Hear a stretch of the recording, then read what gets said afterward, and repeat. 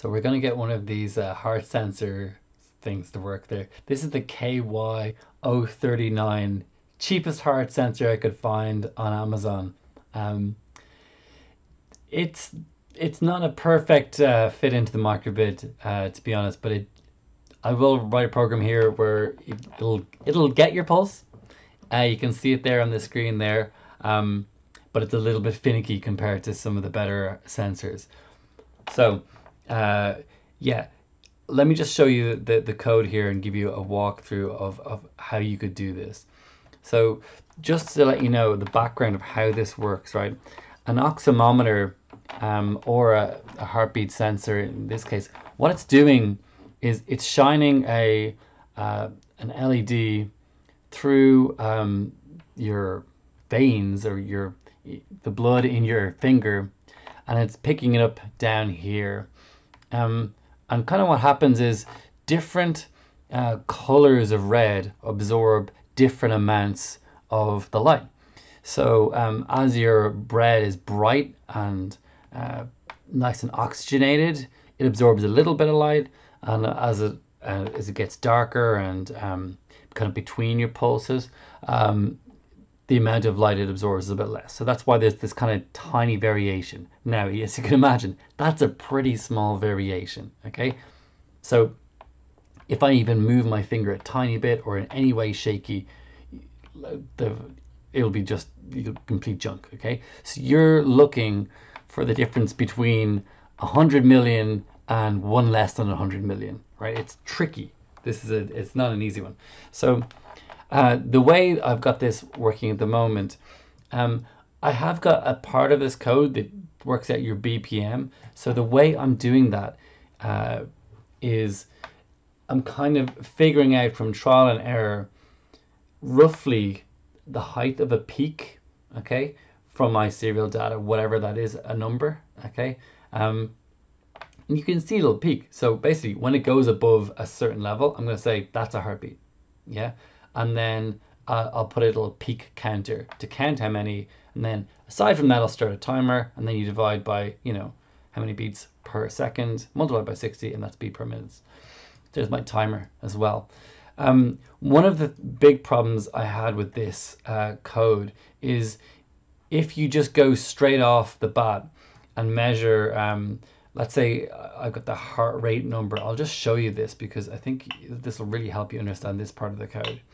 Okay, if I was just to um, like set heart rate um, number, which is the variable here, if I was just to go into variables and set that as it is to the serial read, okay, analog pin, that's the one there, it's coming in and download it, you'll find that data will look very, I don't know how to describe it, noisy.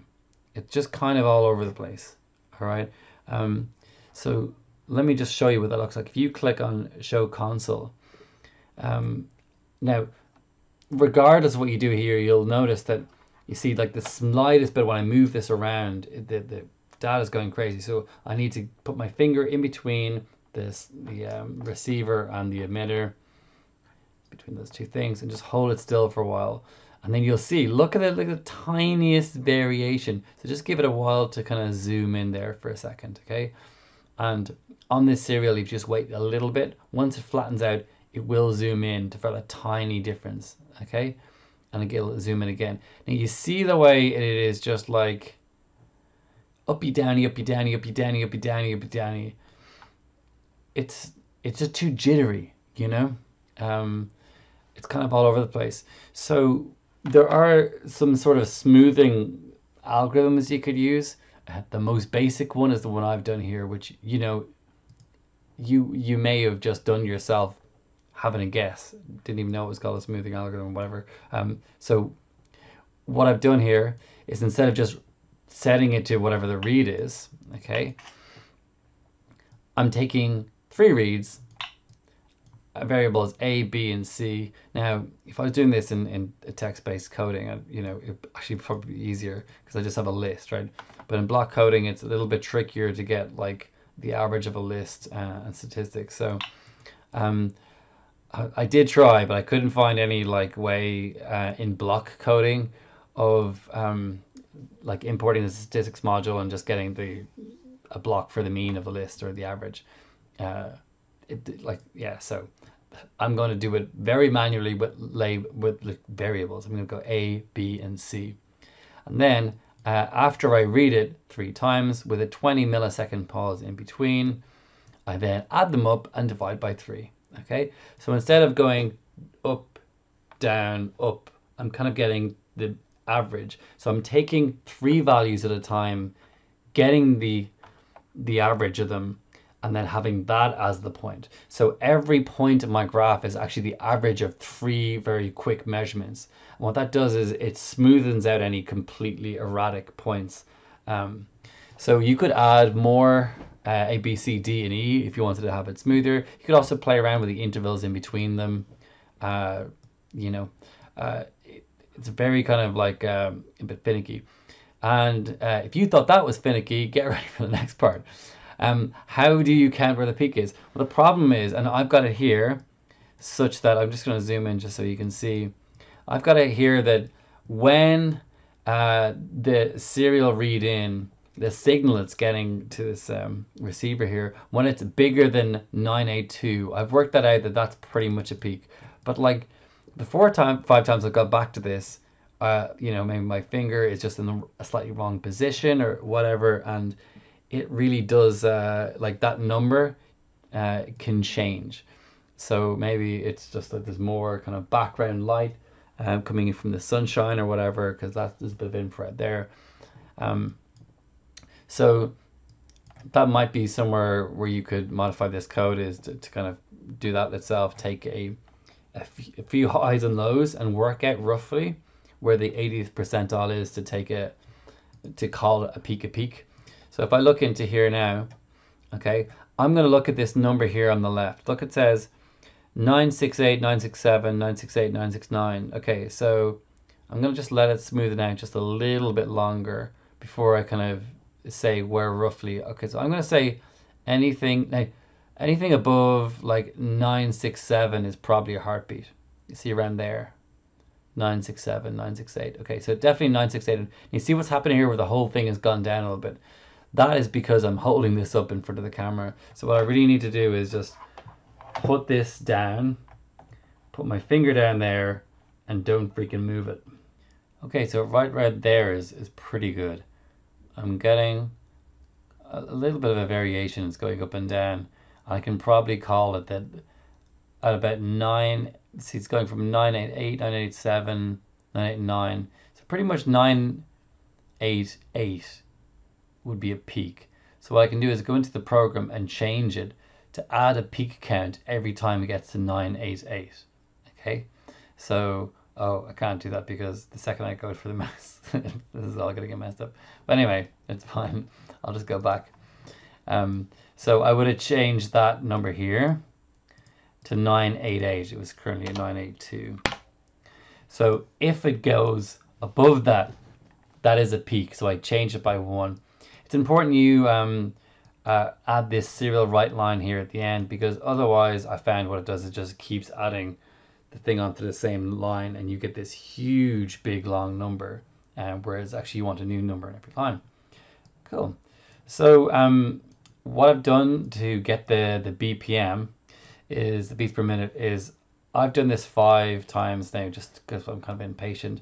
Um, but you could change this to 10 and and and 10 here for 10 seconds or 30 seconds if you want it more accurately but I'm I'm just doing a counter for five seconds okay so have a timer, go up by one every 1000 milliseconds, which is every one second. So this whole block is counting to five. If you've ever counted five before, you'll you'll get that. Okay. Um, then set the value of BPM, a variable I've made up to, however many peaks I counted as we're going by, right? Um, and I'm going to divide it by five because it's over five seconds uh, and times 60 for because it's 60 seconds a minute, so that'll give me the BPM. Um, and then I want to reset the timer and reset the peak count because I want this whole process to start again.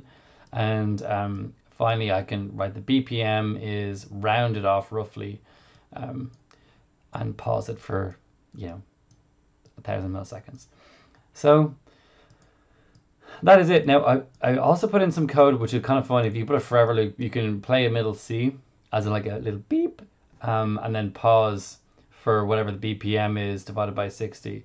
Um, and that will will go beep, beep, beep faster when your heartbeat goes faster, which is pretty cool. Um, unfortunately, I have to turn off here. I don't have the forever loop because this simulator doesn't actually take in any real data. And when I uh, ran this in the simulator, it set the gap between the the noisy tones to zero. So it was just going like going really, really fast and ear piercing as I was trying to move blocks of code around. So I just had to turn it off. Okay. If you hook it up to an actual speaker, it will behave normally and just beep with your heartbeat. But the simulator just assumes that it's getting no data, so it freaks out and you get this crazy techno beat. Um, so that is it. There are the parts that go. This is just the setup. This is the little bit of smoothing. Um, then you write it into your serial, counting the peaks, and um, this is the, the code to count, this is counting five, and this is um, getting the BPM. So that is how it all works. I say works star.